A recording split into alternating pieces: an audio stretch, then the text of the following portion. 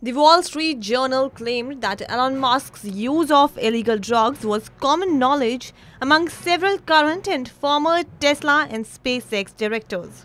There was concern about the volume of Musk's illegal drug use and that he consumed drugs with some of his board members, citing people who have witnessed the drug use or were briefed on it.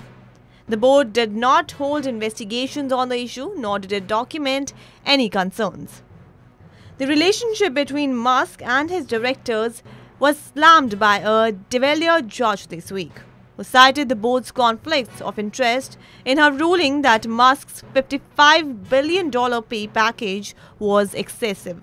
Musk and his lawyer, Alex Spiro, didn't respond to Wall Street Journal's request for comment. The paper previously reported that Musk has used LSD, cocaine, ecstasy, and psychedelic mushrooms, often at private parties.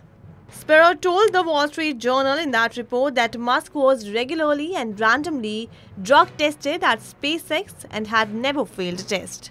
Some friends and directors felt they had to take illegal drugs with Musk as it could otherwise upset him. They also didn't want to risk losing the social capital of being in his billionaire circle.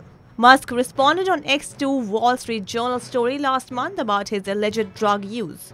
Musk posted on X citing Tesla and SpaceX as being the world's most valuable car and space companies. He said, whatever I'm doing, I should obviously keep doing it. If drugs actually helped improve my net productivity over time, I would definitely take them.